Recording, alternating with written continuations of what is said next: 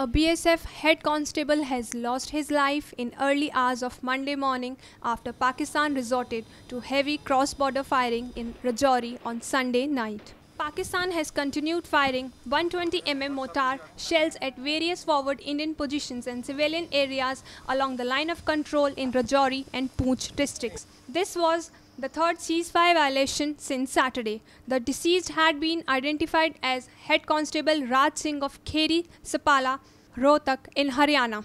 He survived by his wife Sunita Devi, three sons and a mother, sources said. Sunday's ceasefire violation came a day after a BSF Jawan and a woman was injured, and the two houses were damaged when Pakistani troops targeted the Indian post and civilian areas in Naushera and Sundarbani sectors of Rajouri.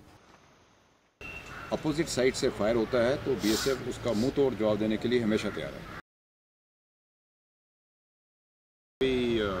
Infiltration की सर्दी खत्म हो, शुरू होने से पहले पहले भरपूर कोशिश हो रही है, लेकिन किसी भी इन्फिल्ट्रेशन को इस सेक्टर से सफल नहीं होने दिया गया